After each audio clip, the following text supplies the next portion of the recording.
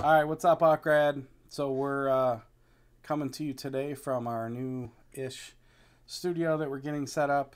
Um, we'll have to give you a tour at some point so that you can see what this layout is. It's kind of cool. Our desk is in a closet. Yeah. so as you've probably seen by the title of the video, it is going to be our first reaction video, and we're going to be um, reacting to Tom MacDonald's new song that dropped. I think it was yesterday, right? Yeah. Dropped yesterday, a balloon. So we're going to go react to that. All right, let's get it. Give a quick review. I miss the days when no one even knew my name. Now everywhere I go, I wear a hat to hide my face. I got weapons hidden inside every room in my place.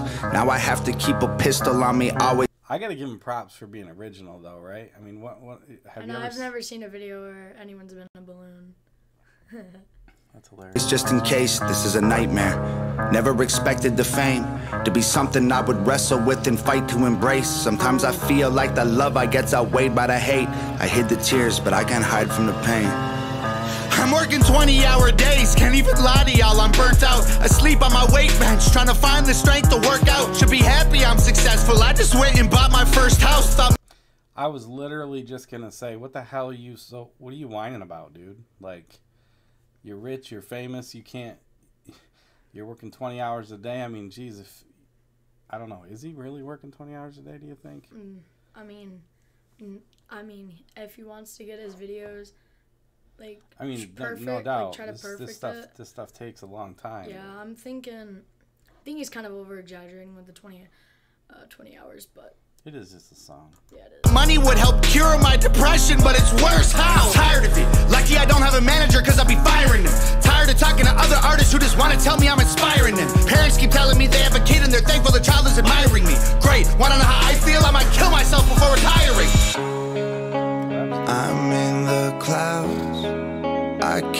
Can't reach the ground. They're coming in crowds, blew me up like a balloon and let me go. Watch me float away while I scream no. Every time I get close, they pull out their phones. Like maybe this time we can see them explode. The beat sounds familiar. It sounds like another song of his. I, I don't know which one it is. I feel like most of his songs are kind of like with the same like type of beat, but like I, I can like definitely tell like that is like another song, like another beat. Similar, similar, Yes, right? I don't very know which similar. one. I'm not. It just Also, seems like that, um, there was the one part where he said like going up to the clouds cannot touch the ground. That kind of reminded me of like the song "Don't Look Down." Like that one was a good one. Oh yeah, that Like was a way good where one. he was in That the a good clouds and stuff. I'm thinking he's kind of like kind of referring to that song as well. Blew me up like a balloon and let me go. Rocks cause they tryna poke holes. They wanna see me pop, they don't wanna see me blow. The reason that I'm gone, they don't wanna see me go. Blew me up like a balloon and left me. I miss the times when I could go outside.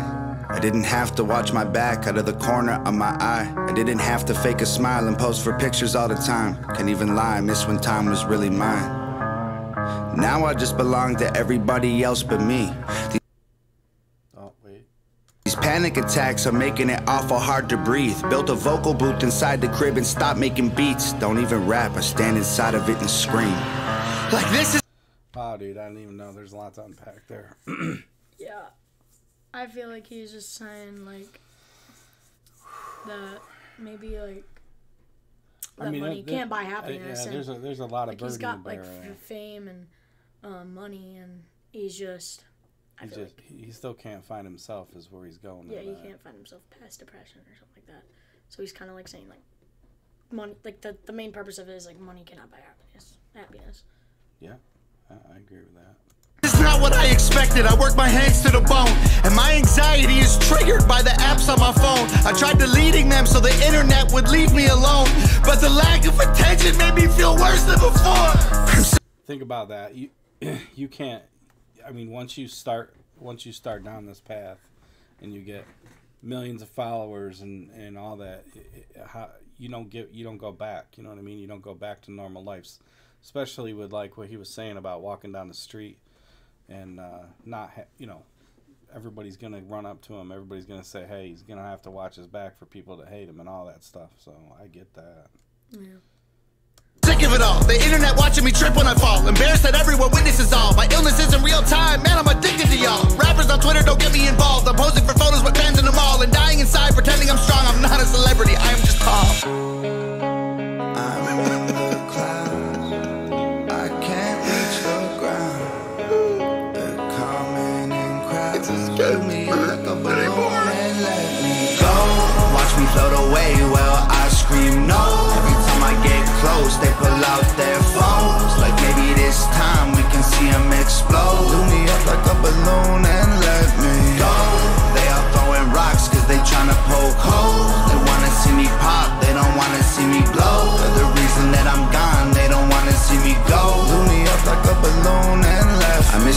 Missed when every Friday wasn't spent with my therapist. Then I realized I hated fame and accepted I'm scared of it. I got Ativan, Cipralex, Xanax, and Seroquel in a Tupperware container. I don't touch, I just stare at them. Breathing exercise is supposed to help me to cope, but nothing works quite as good as a bottle of Jack and a smoke. I try to focus on my breath, but it gets stuck in my throat.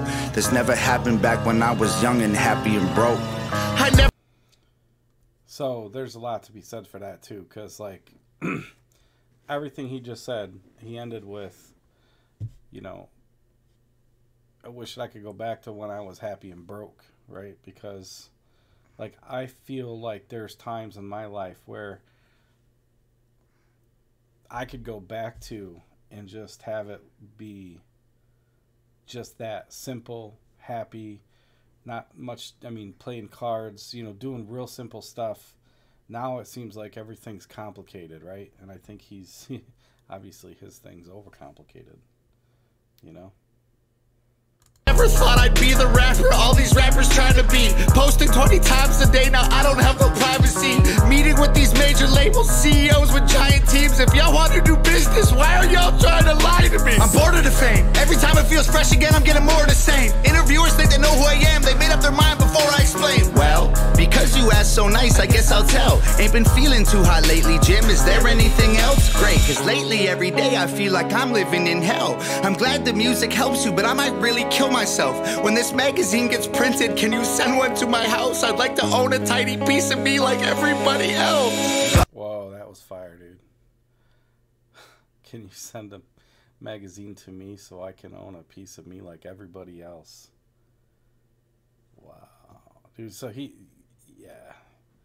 No, not privacy things. He he Like he's getting. I feel like that. I feel like what he meant by like the, like no privacy things, posting twenty times a day. I feel like it's um like notifications, like that he's just always getting, and he's could just be. like, could be. like tired of it.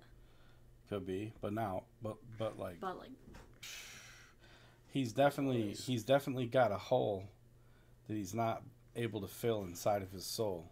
And mm-hmm. music and fame and all that everything that he's he is is not is not cutting it.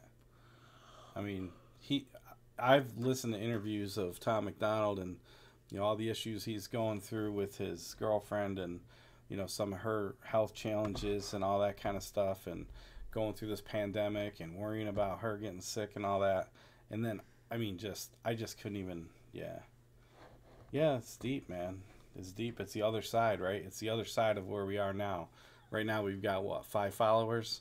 10 30 followers? I don't even know. So i don't even know. But it's it's not many. And you know we walk down the street nobody knows who we are and we don't care. But yeah.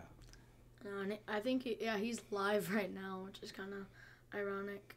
Right there, it says right there. He's live. New video balloons out now. Oh he's live right now Yeah, right now. Did you oh dude should we jump over there? Yeah, there jump over there. all right let's do it Wait, this is not necessarily reaction that's i guess that song's almost over anyway but let's see what the live's about destinations in our heads.